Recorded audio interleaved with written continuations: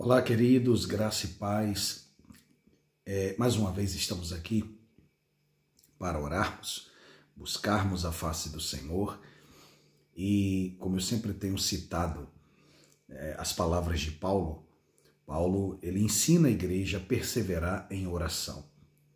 E esse perseverar em oração não tem a ver com o que sentimos, não tem a ver com o que nos cerca não tem a ver com circunstâncias, mas quando o ser humano entende o que é uma vida de oração, ele percebe que uma vida de oração e o respirar é praticamente a mesma coisa.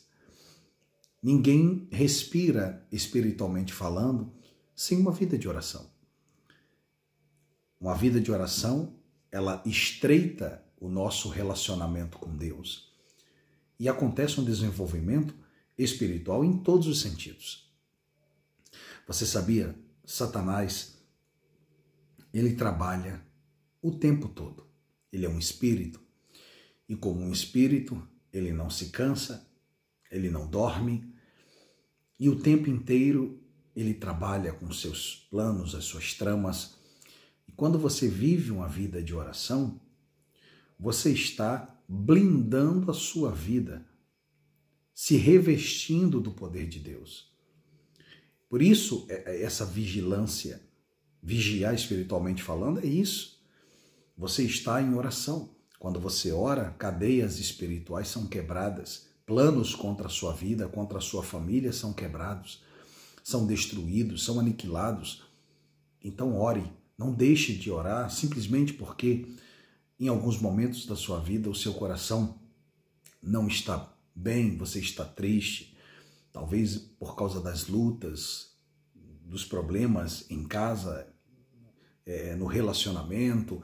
Não pare de orar, mas ore, persevere em oração.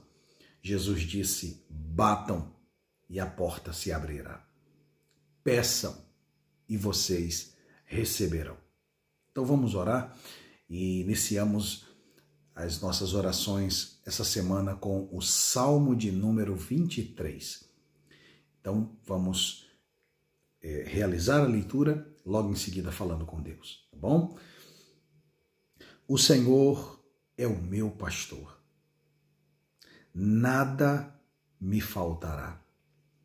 Deitar-me faz em verdes pastos, conduz-me mansamente às águas tranquilas. Refrigera minha alma. Guia-me pelas veredas da justiça por amor do seu nome.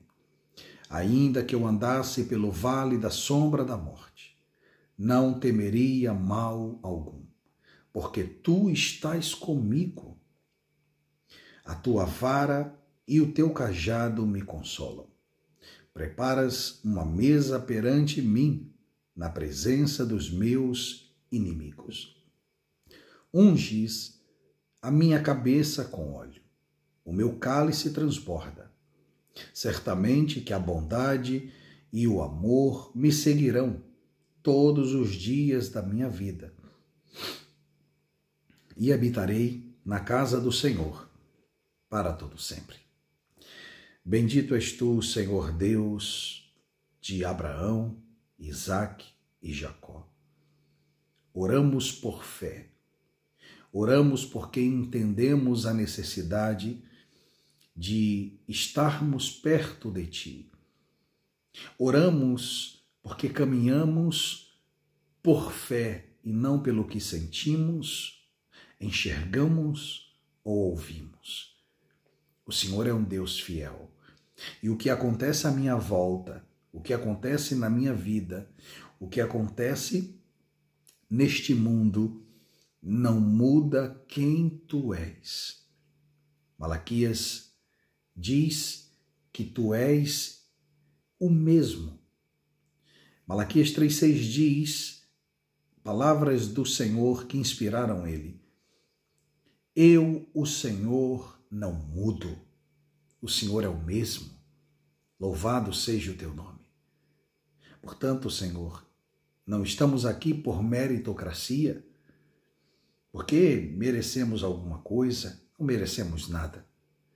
Estamos aqui porque entendemos o princípio, o princípio da fé. E pela fé podemos tudo. Pela fé removemos montanhas. Pela fé avançamos, mesmo que o nosso coração queira nos atrasar. Mesmo que a natureza humana queira nos atrasar, a fé nos faz avançar. Portanto, meu Senhor, estamos aqui porque confiamos em Ti. Tu és a nossa esperança. Tu és o guarda de Israel.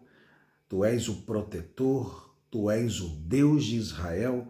Tu és o Pai de Israel. Tu és o nosso amigo, o nosso Senhor. E nos refugiamos em Ti e oramos para que nesse momento, Senhor, o Senhor autorize respostas a chegarem na vida de todas essas pessoas que oram conosco.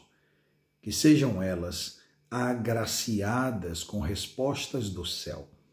Que portas se abram, curas aconteçam, que o impossível se torne possível, que o Senhor traga à existência aquilo que não existe. Afinal de contas, o Senhor é um Deus de misericórdia. E um coração quebrantado, um espírito contrito, o Senhor não rejeita, disse o teu servo Davi. E oramos nesse momento para que o poder do Senhor se manifeste. E as curas agora aconteçam, cura não só no campo físico, Senhor, cura o coração, cura o corpo, cura a alma, cura, Senhor, a mente, cura, Senhor, esse coração das feridas, dos traumas do passado. Sim, Deus, que haja agora uma libertação também mental, pensamentos que têm escravizado algumas pessoas. Pai, que o Senhor venha remover esses pensamentos, essas culpas e venha libertá-la, Senhor, em nome de Jesus, pelo teu amor leal, pela tua graça, pela tua fidelidade.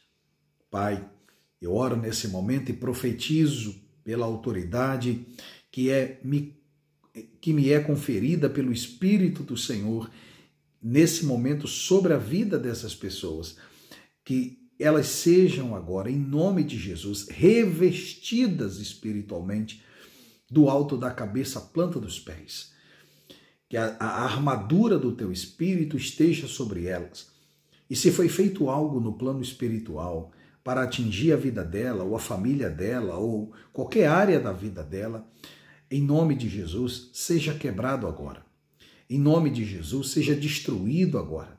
Todas as correntes do maligno, todos os planos do maligno, todas as investidas do maligno, os seus dardos inflamados, o seu cerco seja agora destruído, que vire cinzas pelo poder que há no nome de Jesus pelo poder que há no nome do Filho unigênito de Deus, Jesus Cristo. Pois está escrito: E para isto mesmo se manifestou o Filho de Deus, para destruir as obras do diabo. Então, destrói, Senhor, destrói esses planos malditos, destrói essas investidas, blinda a mente, o coração, a casa, a família, protege tudo que há não só é, na nossa vida, mas também ligado à nossa vida, mesmo que seja amigos, mesmo que seja outros setores, protege, Senhor. Protege, blinda, pois nos colocamos debaixo das tuas asas, da tua proteção. Louvado seja o teu nome. Engrandecido seja o nome do Senhor, o Deus único e verdadeiro. Oramos por todos e que todos sejam abençoados, todos os que têm fé, todos os que confiam em Ti, todos os que nesse momento abrem mão, inclusive das suas próprias convicções, e dizem Amém, que assim seja. Obrigado por nos ouvir e nos atender. Meu último pedido é que o Senhor nos dê sabedoria, entendimento, maturidade espiritual. Precisamos disso para avançarmos e evoluirmos. Obrigado, Senhor. Ensina-nos a sermos filhos maduros, cheios da tua sabedoria, do discernimento do Senhor, para a honra e glória do nome de Jesus.